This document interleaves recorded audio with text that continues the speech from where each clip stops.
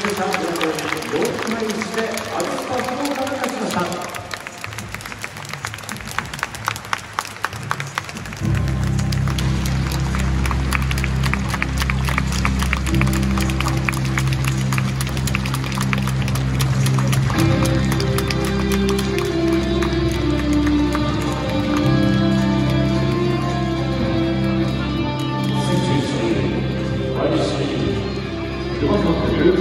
代表としてカリスマと戦い坂として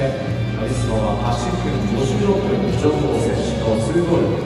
石井選手の60分のゴールそしてパーパーテルの選手のゴールで4得点を奪って勝利ということになりました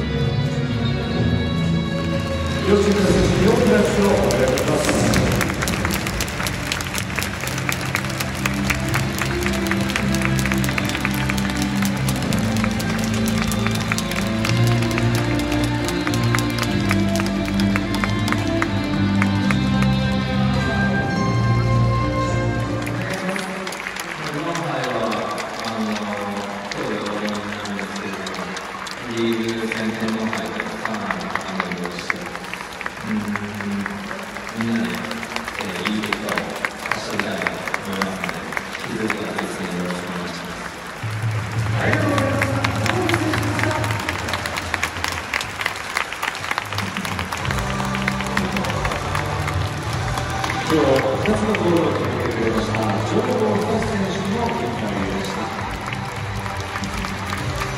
では、今日は4つのゴールが生まれています。今日のゴールを振り返りましょう。ビジョンご覧ください。プレスまずは前半の8分です。ワット選手からのクロスをディフェンスの隙間です。ジョー・ロサ選手が見事にヘディンで決めましたエスパが先制しますそして56分です一度はブロックされるんですがそのボールを取っているシュータ選手がのクロス今度はファーサイドジョー・選手のヘディング1点目さあそして60分はベススタのファンタジスタが見せました。川上選手からのボールを受けて左足で吉村選手3点目そして72分ですこれは流れたのが非常にいいシュートまでのパスがつながってそしてベルガロ選手が見事に決めてくれました。以上目標の4つの素晴らしいゴールでした。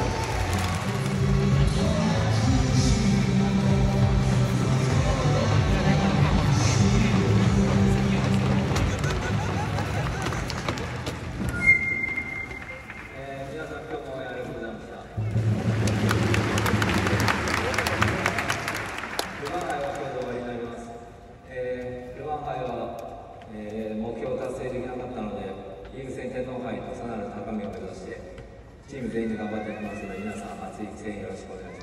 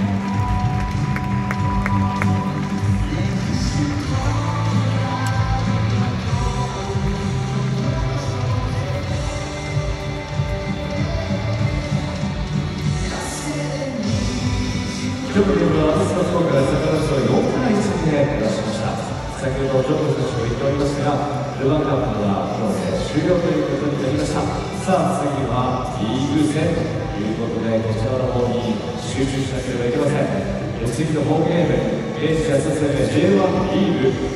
5月22日今度の土曜日です第15節湘南ベルバーレ戦ということになりますキックオフは17時現在チケット好評発売中です。現在リーグ戦ではアビスパトカは5連勝中。